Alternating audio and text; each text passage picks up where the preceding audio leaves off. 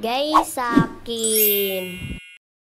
Assalamualaikum teman-teman. Aku punya mainan baru nih teman-teman. Mainan mobil City pemadam kebakaran.